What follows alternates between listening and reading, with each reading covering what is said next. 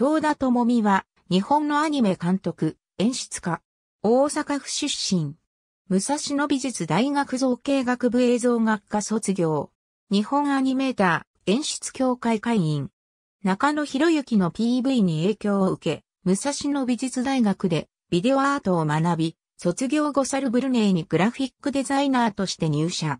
退社後、新世紀エヴァンゲリオンを見て、ガイナックスのアルバイトに応募し、ゲーム班に配属される。ガイナックスを辞めた後グループタックに入社し、キョロちゃんの格話演出として演出家デビューした。その後、同僚に誘われ、ボンズに移り、ラーゼフォンの制作に参加。伊豆淵豊監督を補佐し、その流れで劇場版ラーゼフォン多元変奏曲で監督デビューを果たす。29歳という遅い演出デビューから実質キャリア4年という異例の速さであった。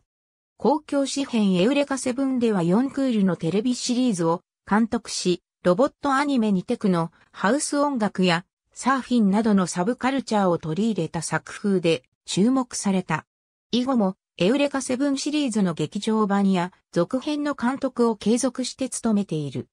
既存の映像を組み替えて異なる物語にする編集、また情報量の多い複雑な戦闘シーンの構築が特徴。板のサーカスを含んだ戦闘演出には、村木康を特技監督として多く制作をしている。画面のサイドやアスペクト比の変化も積極的に演出に取り入れている。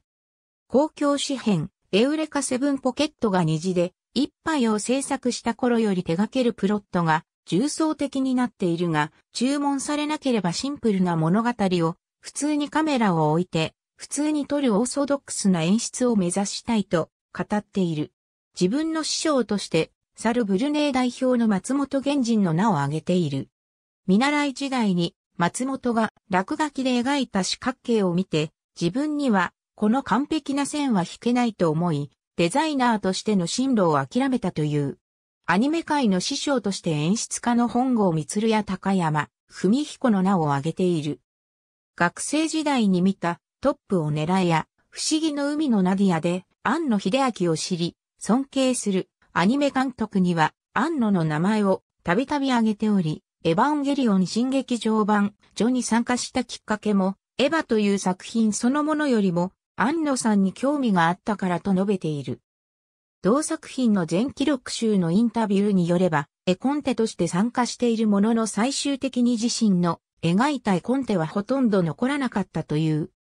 自分のコンテが船外となっていた自己分析として自分が打ち合わせで受けた印象と最終的に行ったエヴァの印象があまりに異なっていたことから事前説明から自分なりの解析がうまく通じていなかったことを述べている。なお、続編であるエヴァンゲリオン新劇場版派では参加していない。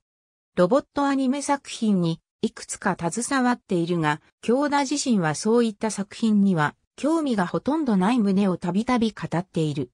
ABCDE、京田智美インタビューパート3 2009.1、コンティニューボリューム45、太田出版、2009年、ピアニッシモ、30から35。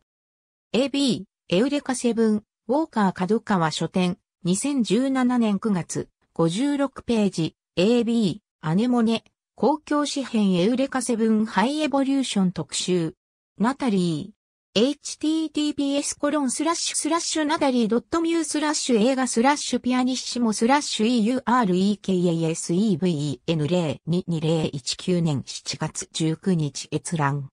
映画、アネモネ、公共紙幣エウレカセブンハイエボリューション BD、ブックレットインタビュー、16ページ、エウレカセブン AO オフィシャルコンプリートファイルかどかは、書店、2013年1月、109から110ページ。ありがとうございます。